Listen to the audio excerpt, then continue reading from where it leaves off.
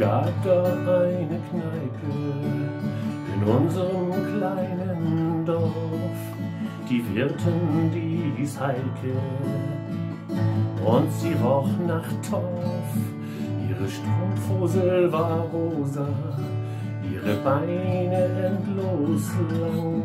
Sie sah aus wie ein Flamingo im Sonnenuntergang. Flamingo Dolores, so nannte ich sie. Sie hieß ja eigentlich Heike, doch so nannte ich sie nie. Flamingo Dolores, sie stahl mir mein Herz. Oh ja, ich verlor es an Flamingo Dolores konnte zapfen wie sonst keine.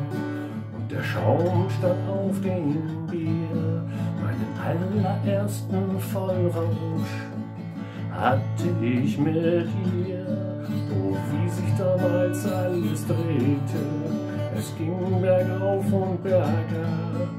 Ich weiß noch, wie sie meinen Kopf übers Klo gehalten hat. Flamingo Dolores hat mir vieles gezeigt, zum Beispiel was da so los ist unter ihrem Kleid. In der Schule hatten wir Sexualunterricht, dank Flamingo Dolores brauchte ich ihn mir gezeigt, mit Zunge zu küssen, ohne mich dabei übergeben zu müssen. Sie hat mich gelehrt, es gibt ne Klitoris und wenn man das weiß, dass dann die Frau froh ist.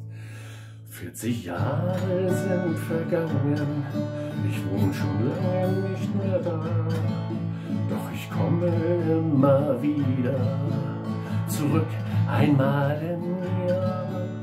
Und dann geh ich in die Kneipe in unserem kleinen Dorf. Und dann trinke ich auf Dolores, denn sie ist schon lange torf. Flamingo Dolores, ich vergesse sie nie.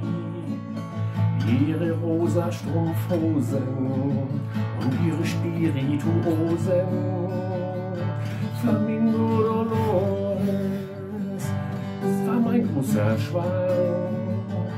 Ich trage noch heute ein Flamingo-Tattoo auf dem Arm. Ich trage noch heute ein Flamingo-Tattoo, ein Flamingo-Tattoo, ein Flamingo-Tattoo auf dem Arm.